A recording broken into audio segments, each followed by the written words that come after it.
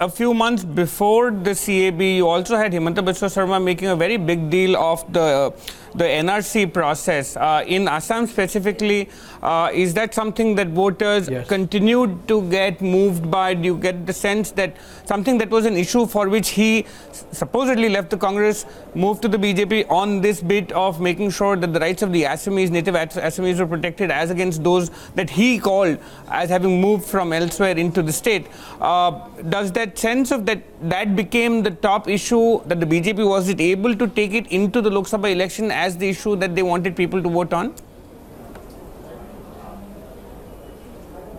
See, uh, if you look at the NRC process, the people of Assam were so happy with the NRC process starting now after 1985, which was it, NRC was supposed to be uh, part of the uh, Assam Accord, which was signed in 1985, and it had three clauses. The main clause was deportation, deletion uh, from the electoral rolls, rolls and uh, uh, detection imagine 1985 till now nothing was being done. So the government took uh, you know when this process started the bjp said yes we have done it and it was part of uh, the plank in the uh, assam assembly elections.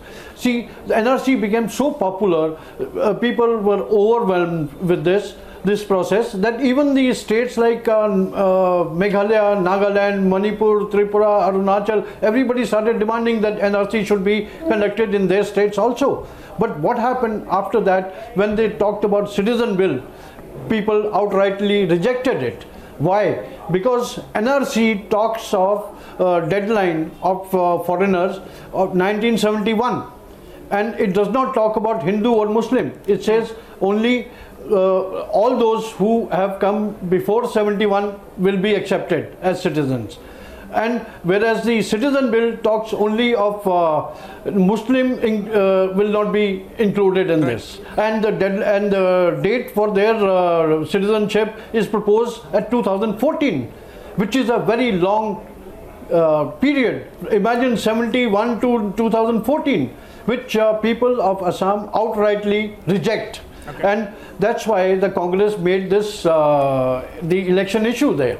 Before the citizen bill was uh, brought in the picture, the BJP had even claimed that out of total 25 seats, we'll be able to uh, secure more than 21. Uh, Amit Shah himself had claimed, but I don't think they can claim it today. if you look at certain pockets, there are certain pockets in Assam, yes, which did welcome the CAB. Uh, there were celebrations there. Uh, but then, if you look at Assam as a state as a whole, then there was widespread opposition at that time.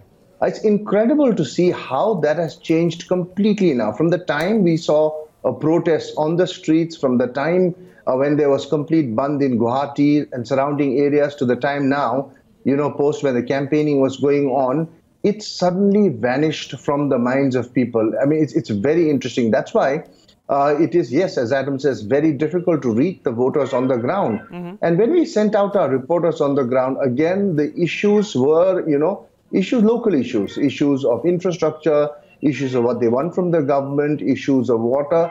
Uh, so a lot of these issues were playing on the mind, but CAB had suddenly vanished from the minds of the people. Very interesting to see that. Uh, now, whether it will really play here in this election or not, I don't think so. I don't think CAB will play any role in these uh, in this uh, uh, election.